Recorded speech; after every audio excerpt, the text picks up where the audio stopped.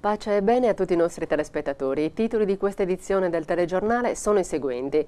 Papa Francesco invia doni ai poveri di Roma. Tramite il suo elemosiniere il pontefice offre una piccola carezza e un biglietto di auguri pasquali agli emarginati. È in atto una persecuzione e il nostro silenzio è complice. Alla Via Crucis al Colosseo Papa Francesco prega per i cristiani trucidati e chiede perdono alle vittime di abusi. Perché i cristiani vengono perseguitati?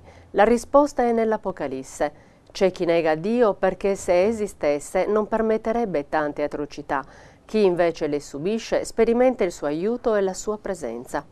Infine, le notizie di casa nostra e gli avvisi per coloro che frequentano il nostro santuario. Passiamo alla prima notizia. Papa Francesco invia doni ai poveri di Roma. Tramite il suo elemosiniere il pontefice offre una piccola carezza e un biglietto di auguri pasquali agli emarginati. La Radio Vaticana informa che la sera del venerdì santo, negli stessi momenti in cui si stava svolgendo la Via Crucis, l'elemosiniere del Papa, l'arcivescovo Corrado Krajewski, ha distribuito ai poveri di Roma un segno di vicinanza da parte del Santo Padre. Si tratta del secondo anno consecutivo.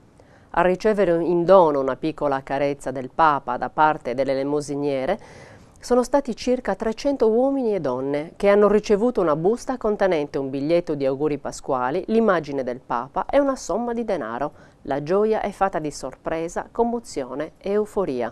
In molti, riferisce Radio Vaticana, hanno baciato con devozione la foto di Francesco, chiedendo di ringraziarlo personalmente. Altri erano stupiti del suo pensiero e correvano da chi non aveva ancora ricevuto il dono per informarli del regalo del Papa. Tanti altri hanno nascosto la somma sotto la camicia per custodire il prezioso tesoro. In tutte le parti di Roma, soprattutto nelle stazioni vicino a San Pietro, la stessa scena si è ripetuta fino alla mezzanotte inoltrata. Seguendo Cristo sulla via della carità, noi seminiamo speranza. Mai le parole del Papa in quella notte santa sono state così sentite e vere.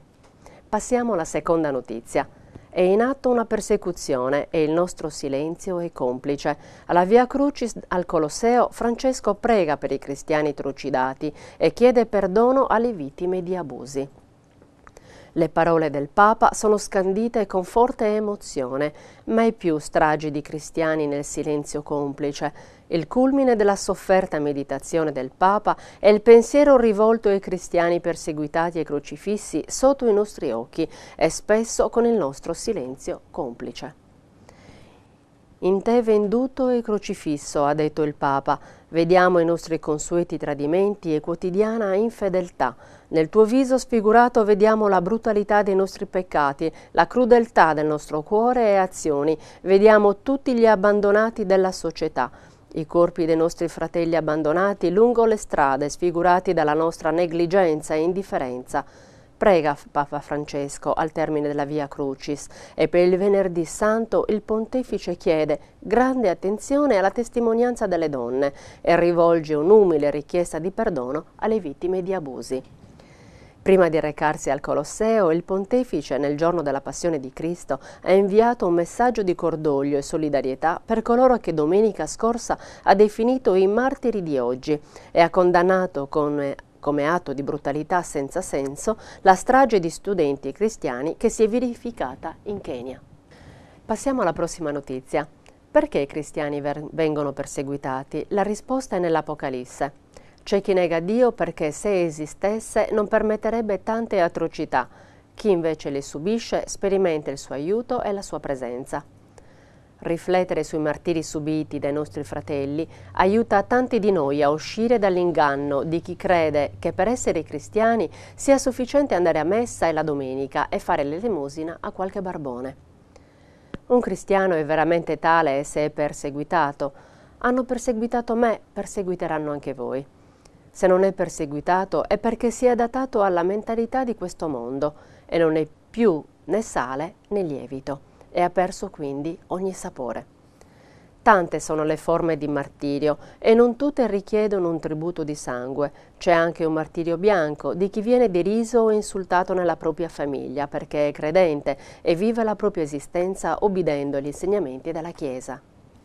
Martire significa testimone e ogni cristiano è chiamato a testimoniare con la propria vita, prima che con la parola, che Cristo il Signore e che dopo la sua morte e risurrezione vive oggi in ogni cristiano, cioè in ogni membro del suo corpo che è la Chiesa.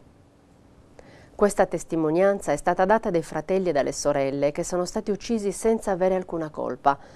È da sottolineare che nel mondo più dell'80% delle persecuzioni religiose riguardano i cristiani e bisogna chiedersi perché questo accada, dal momento che i cristiani vivono ovunque, pacificamente, a differenza di quanto avviene in altre realtà religiose, come le cronache recenti ampiamente dimostrano.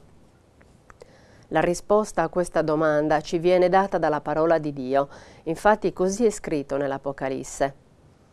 Quando il drago si vide precipitato sulla terra, si avventò contro la donna, che aveva partorito il figlio maschio, ma furono date alla donna le due ali della grande aquila per volare nel deserto verso il rifugio preparato per lei, per esservi nutrita per un tempo, due tempi e la metà di un tempo lontano dal serpente.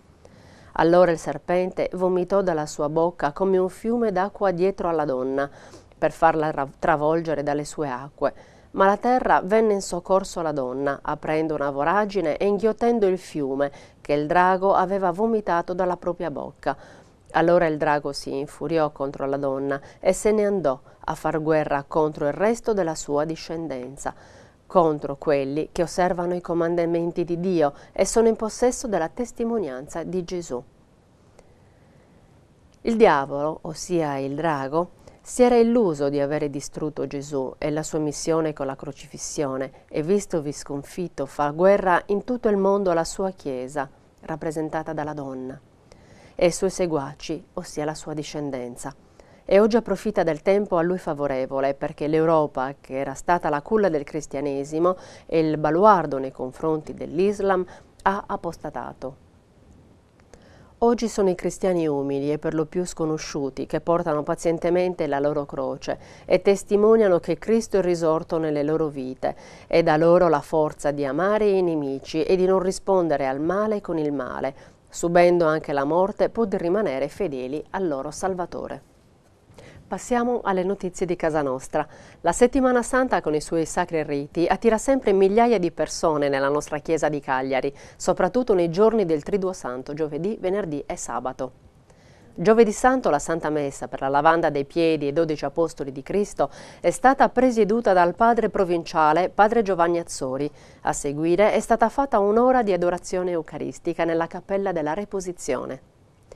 Venerdì Santo è stata celebrata la Passione del Signore e l'adorazione alla Santa Croce e come ogni anno numerosi fedeli si sono recati nel giardino del convento per la tradizionale Via Crucis notturna. Sabato Santo si è celebrata la veglia pasquale presieduta sempre dal padre provinciale padre Giovanni Azzori, con il rito della benedizione del fuoco all'ingresso del santuario. Durante la settimana santa un fiume di persone provenienti da tante parti della città del, del, suo interland si è riversato nel nostro santuario per il sacramento della riconciliazione e grazie alla presenza di due frati e due diocesani provenienti da diverse parti del mondo è stato possibile accontentare numerosi fedeli. Infine, gli avvisi per coloro che frequentano il nostro santuario. Ogni giovedì nel nostro santuario ci sarà la tradizionale adorazione eucaristica del Santissimo Sacramento, esposto continuativamente tutto il giorno dalle ore 9.30 alle ore 17, per chiedere al Signore il dono di numerosi e santi sacerdoti e religiosi per la sua Chiesa e in particolare per il nostro ordine. Il nostro TG è terminato e noi vi salutiamo con il consueto saluto francescano. Pace e bene.